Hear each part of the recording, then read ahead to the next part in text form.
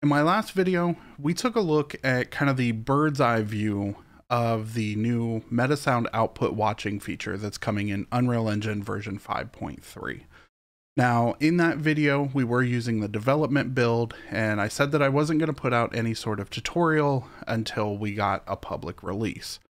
And as of a couple days ago, uh, we now have 5.3 Preview 1 inside our Epic Games launcher, uh, so if you haven't done so already, you can definitely go download that and start to check this out. Now, since we do have a public release, we are going to start getting into the tutorial phase of this feature. And I use the term tutorial loosely because in this video, I am going to show you how to set it up and get it working.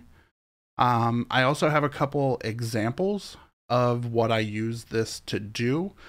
But in the grand scheme of things, there are so many possibilities with this that really the limitation is you and your creativity.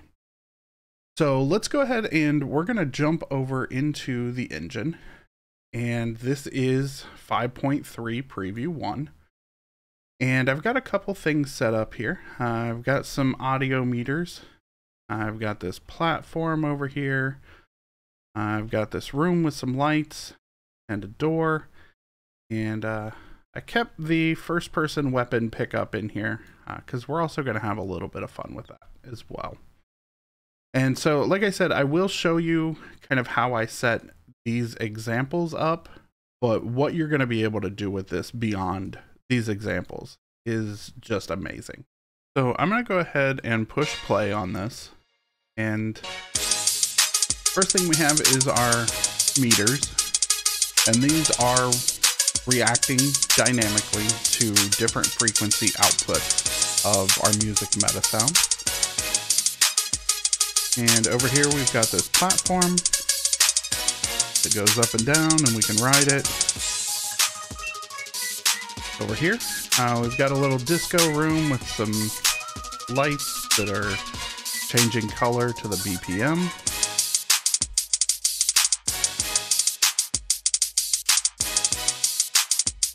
And we've got a door over here that we can open and close. And I said we were going to have a little bit of fun with our first person weapon. So why not add some explosions?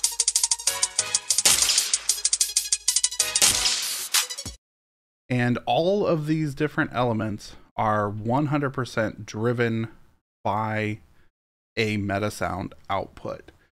Now, with that being said, is this the most efficient way to perform these kinds of tasks? That remains to be seen. Um, to be completely honest, I really just started playing around with it to see what was possible and what you could possibly do with it. And in my opinion, that's really the best way to learn is just dive in, see what you can do and learn as you go. So let's jump in and start looking at how to actually create this system. So I've opened up a new level here, uh, just a regular first person template. Uh, you can do this in any template, it doesn't matter. And in order to get Metasound output watching working, the first thing that we need is obviously a Metasound. I'm gonna go ahead and just real quickly create a Metasound source, and I'm just gonna call this Metasound out. You can name it whatever you want, um, but just for the sake of this tutorial, I'm just going to call it Metasound out. And I'm going to switch this over to stereo and add a wave player. Uh, this works in stereo, mono, um, any of your surround sound settings, doesn't matter. And we do want to collect, connect the left and right just so we can hear it.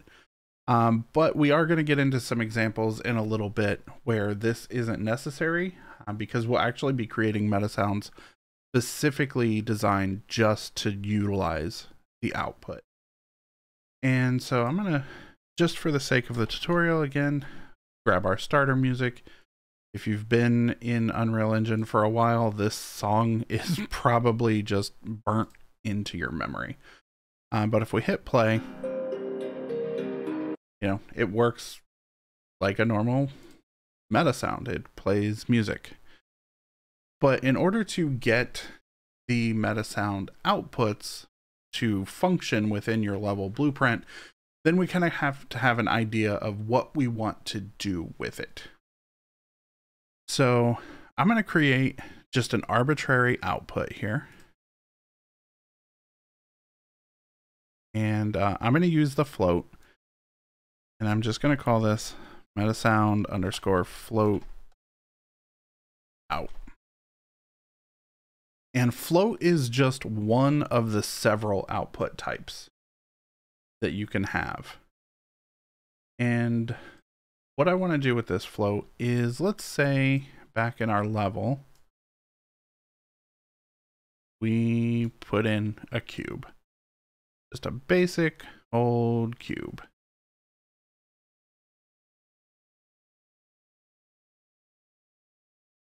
And maybe I want to use the music to change the position of this cube, say, let's say on the Z axis. So we've got our cube. The next thing we need to do in order to get this working is we're going to jump in our level blueprint. And it doesn't have to be the level blueprint. I'll show you in a little bit that you can actually create your own blueprints to make things modular. Um, but we're going to call an event begin play. And again, this this whole tutorial is completely modular. Um, you can use anything you want to to trigger, but I'm just going to do it on begin play, and we're going to add an audio component. And I want this component be that meta sound that we just created. Go ahead and save everything. So now uh, if we hit play in our level, you can hear that now the music starts automatically, which is exactly what we want. The next thing we need is our meta sound all the way down at the bottom here. Yeah, get meta sound output subsystem. And with our Metasound output subsystem, we want to drag off of this and we want to search for watch output. And I'm going to drag this over so that it starts watching the output right from the beginning. Uh, you don't have to. You can trigger this some other way. Um, but basically, we need the target to be going to our Metasound output system. And then we need to know which Metasound we're watching. And so since I have this audio component already set up with that Metasound, we're just going to take this return value and plug it right into that audio component. And since we have this float output that we created, we do need to make note of the name. So I called it ms underscore float underscore out. I'm just going to copy this. I'm going to come back into our level blueprint here, and I'm just going to paste it right here. Now we got this error uh, because we don't currently have any events that are coming off of this on output value change. So we're going to go ahead and create a custom event. And I'm just going to call this float out. This particular item doesn't matter what you name it. And if I recompile that, you'll see that the error goes away. So now, since we have our Metasound output system as our target, our audio component with our defined meta sound in it going to this. We've defined which output we're watching. Um, now, anytime a value changes on this output, we can call an event. And so back inside our wave player here, uh, I'm actually just going to go ahead and add these two now you can do this, like I said, with a mono source, a surround sound source, doesn't matter. And we're going to go ahead and get an envelope follower. And so now what this is doing is it's taking our audio in and with the envelope, it's going to allow us to spit out a float value conversion of that audio signal. Now, because we do still have it connected to our outputs, we still hear it. But now, in addition to sending this to our speakers, we're sending this to our level blueprint. So inside our level blueprint, uh, we want to get a reference to this cube.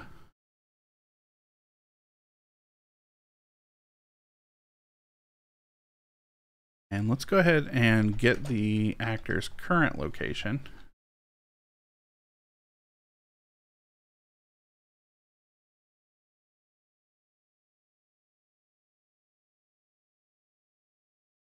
we are going to break this apart. Because like I said, we, we only want to move that cube on the Z axis, so up and down. And we're going to drag off of here again and do a set actor location.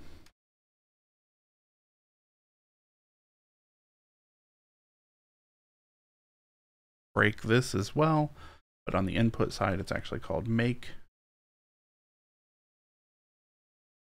And we want our X and Y to stay constant, but we want to move our Z. So off of our custom event, we're going to take this output. We're going to say get float. And all of these are different types of outputs that you can watch. So you can have a boolean, a float, an integer, a string, or a time in seconds. So things like your wave duration, um, your boolean on whether a specific stem is active or not. Uh, strings, you can spit out text. Integers, if you're using whole numbers, you get the idea.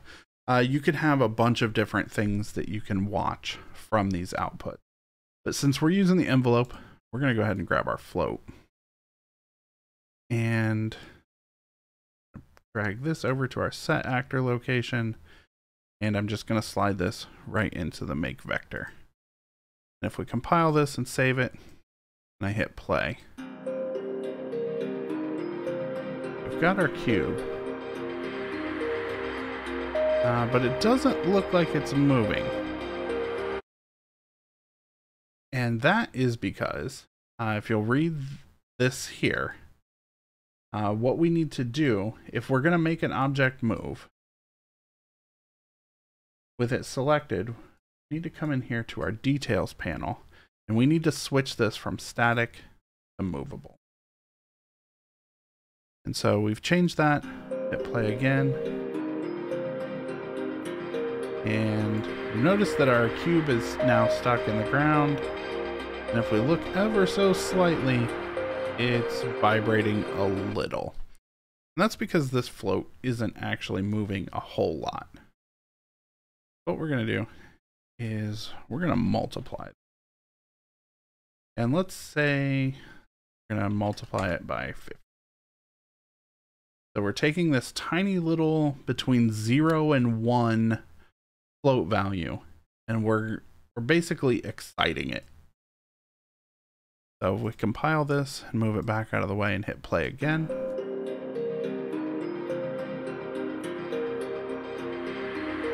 And so now you can see that it is actually moving um, just because we've kind of expanded our float range that we're moving this object on. And uh, just to show you that this works regardless of what's in the meta sound, switch back over and uh, let's get our get our first person weapon sound in here. I do have that set to loop, so it's going to continuously loop, spit out the envelope float. We'll hit play again.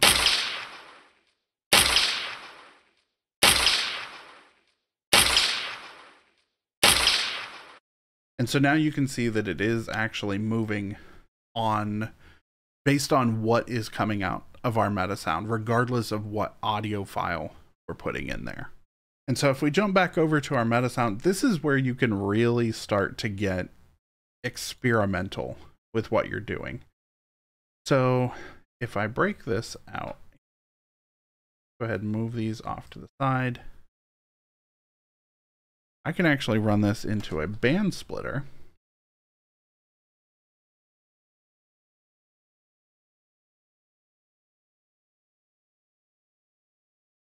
And now if I wanted to, say our band zero, which is anything under 500 hertz, Now just anything under 500 hertz is controlling this, and the rest of the audio isn't doing anything. Or we can send it to do other things. So like I said in the beginning of this video, this really boils down to you getting creative with how you want to utilize this. And so if we jump back over to this kind of sample project that I made, that's exactly what I'm doing with these audio meters. And on top of having these audio meters work, like I said, you can actually set this up in its own blueprint. So I've got this blueprint here that has an audio component already in it. And I've got these five different needles.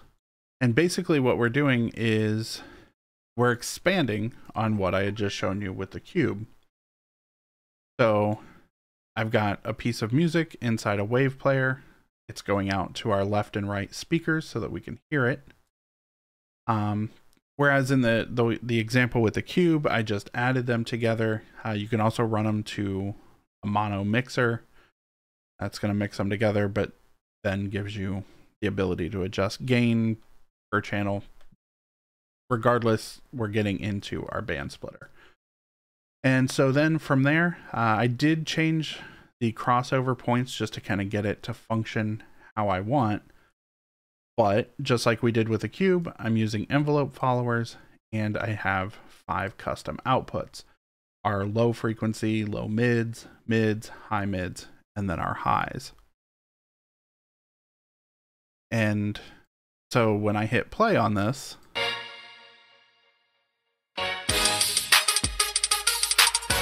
so now we're using the float value from each of those uh, different frequency bands and we're just rotating. We're taking that little needle that I made and we're just changing the rotation. That is literally all we're doing. So whether it's, you know, rotation or actor location, playing around with all the different values to make it act the way you want. So far, we've covered two different things that you can do with this. And like I said, the possibilities are really endless. So let's jump back over and now let's take a look at this platform. Now with this platform, it's very similar to what we did with the cube. Um, but this is going to be an example of how I said that we can set up a meta sound with no audio outputs because we're creating it just specifically for uh, doing what we need it to do with the output. We don't necessarily need to hear it. So I have an LFO set up, the frequency, so it's happening 0.1 times per second. And our minimum and maximum value is negative 1 to 1. Have that going to an output, just like we did with all the others. Now this one I did do in the level blueprint. So we've got our Metasound subsystem. Uh, we're watching the output. The output name is the LFO sine out because I'm using a sine wave on this LFO to give us a nice curve.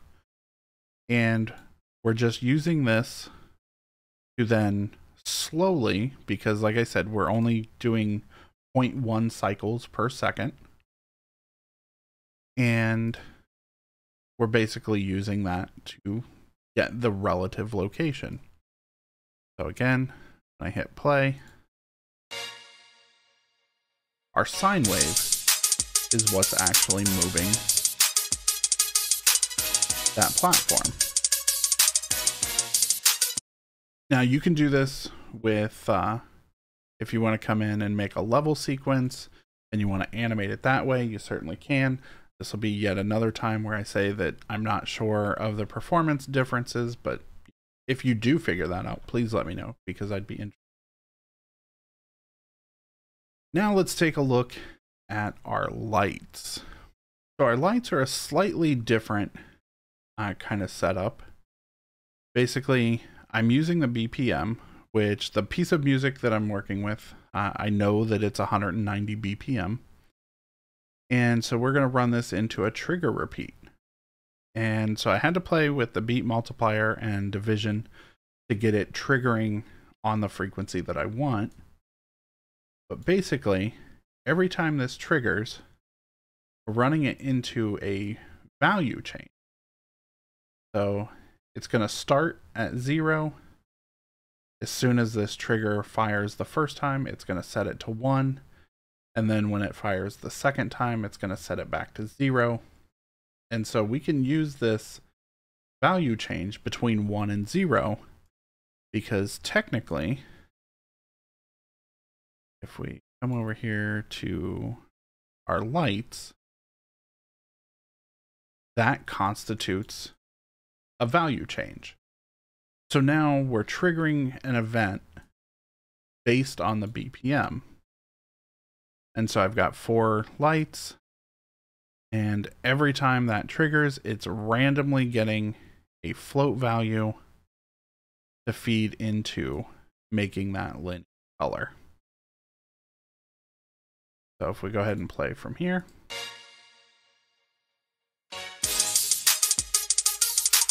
Now you can see every time we get that random value change, it's going to grab another random value for our RGB colors. And so now we essentially get uh, Metasound driven light shows. And so by this point, I think you can really kind of see that there there is an overall general concept here. It's just up to you on how you want to use it. So now let's take a look at our door. And with everything that we've covered before, uh, you can probably guess that I am adjusting this door's rotation using a float. And that is exactly what I have done here.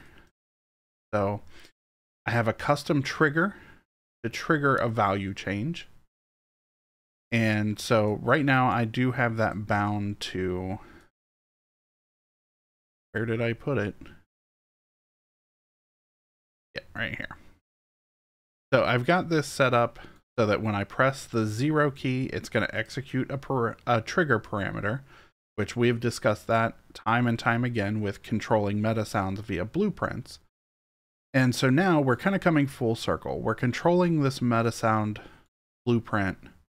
We're controlling the meta sound with blueprints and then using the data derived from that metasound to come back into the blueprint. So custom input, a trigger sequence, and so each time we press it, it's basically going to toggle between 0 and 1. And we're going to interp to over 2 seconds, and that's going to give us a 2 second long door opening and door closing uh, kind of animation. And so just like with all the others, meta sound output coming into our watch. We are looking at the name of the output we're watching. It's all coming off of this audio component. And so now we're taking that 0 to 1 and we're mapping it into a rotation on our z axis. And so if the uh, float value coming from our meta sound is 0, then it's going to output a number of 90 degrees. And when we switch it to one, it's going to, over the course of two seconds, that's what our interp to time is, it's going to basically glide this 90 degrees back to zero degrees. And it doesn't have anything to do with the music, but I'm not going to disable the music. Show you. So have our door. And like I said, when I have the numpad zero key pressed over the course of two seconds, and if we press it again, get that door closed. So, I mean, if you wanted to create an audio driven game uh, instead of using like level sequences or things like that, you can certainly do so. Now, for the last example, uh, which is the gunfire. That I've got over here. And for that, we're actually using another new feature for 5.3. So this audio component isn't actually the gunfire sound. Instead, we're using our audio bus readers here. And let's go ahead and grab. And so inside my content browser, uh, we do have our first person template firing sound. And I created a separate meta sound specifically for it. So it's still our first person template sound. And this time we're going into an audio bus writer. And basically, I'm using this kind of as a blueprint interface so that we can send audio from our weapon fire um, blueprint into our level blueprint. So that's all this is doing. These audio outputs, even if we hit play right now, you don't hear anything. Uh, you can see the cables light up because we are sending audio signal, but we're sending it to this ms underscore bus that I created. And that is coming over to our ms receive. So it's coming out of here, or it's going into here and coming out here, uh, where I do have the left and right so that we can hear it. And just like I did uh, with the lights and things. We're just doing an on trigger or trigger on threshold. And so anytime the amplitude of this gunfire sound happens, we're going to toggle between setting our values, 0 and 1. And we can set this to 0.1, we can set it to 500. It doesn't matter as long as these two numbers are different. As soon as this value changes, we're going to be triggering something. So we've got our meta sound receive. We're watching the output. We're watching that fire out output that I created here. And so anytime that gets triggered, we're then triggering this uh, particle system, which has an explosion. Uh, this down here, just for visibility, I did have an issue where without it, as soon as I hit play, for some reason, the uh, the particles would trigger, which I'm assuming is probably just because they're auto activated or activated on spawn. Um, so this really isn't part of the Metasound output watching. It's more of just a to get it to work, something that I had to do. And so now each time our fire sound again comes from our wave player, it's going to go into this bus going to come out of the bus, trigger this sequence, which we have our fire out, and eh, which constitutes as a value change. Every time we fire that weapon, we're activating the explosions. So I know that that was kind of a long, convoluted, and probably confusing um, tidbit. But like I said, these are just examples that I want to show off uh, of just possibilities. Um, there's no dead set right or wrong way to do that. Um, you can probably set it up uh, several different ways. You know, if you've been in game development for a while, you know that there's not usually one end all be all solution, that everything is particular to your project. And so, again, I just wanted to kind of give you guys a jumping off point you know, we talked about how to set it up and how to get it working, and that's really where the tutorial stops. Everything from this point forward is up to you and your creativity. So hopefully this was something that you found enjoyable, um, and I really love to see what you guys create with this. So if you make anything cool with it, uh, feel free to join the Sound Effects Guy Discord server. There will be a link in the description below. And while you're down there, don't forget to hit that subscribe button along with the notification bell so you don't miss out on any future content. Until next time.